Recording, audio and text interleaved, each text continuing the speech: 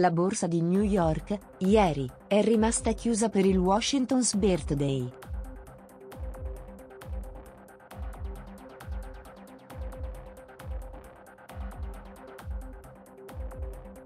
Sulla parità il Nikkei 225, più 0,1%, come l'indice cinese, meno 0,07%.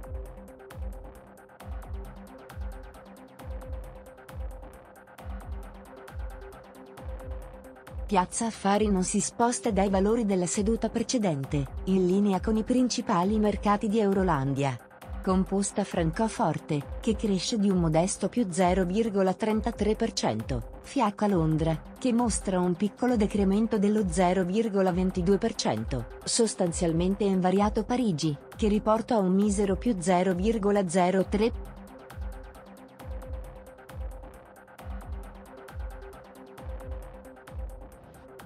Peggiore tra i settori, sensibili ribassi si manifestano nel comparto alimentare, che riporta una flessione di meno 0,51%.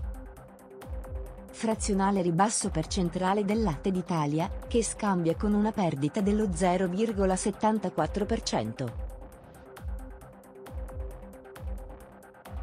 Si attende stamattina dal Regno Unito la diffusione delle richieste del sussidio di disoccupazione e del tasso di disoccupazione. In Germania ancora stamattina i mercati sono in attesa dell'indice ZEF, è previsto giovedì ancora dalla Germania l'annuncio dei prezzi al consumo.